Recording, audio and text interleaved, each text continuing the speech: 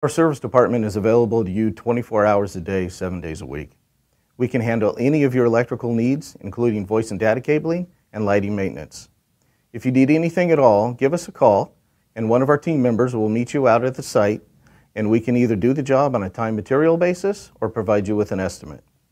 Once you authorize us to start the job, a work order will be opened and it will be seamlessly handed over to our operations department who will then take care of that job, make sure it's completed to your satisfaction.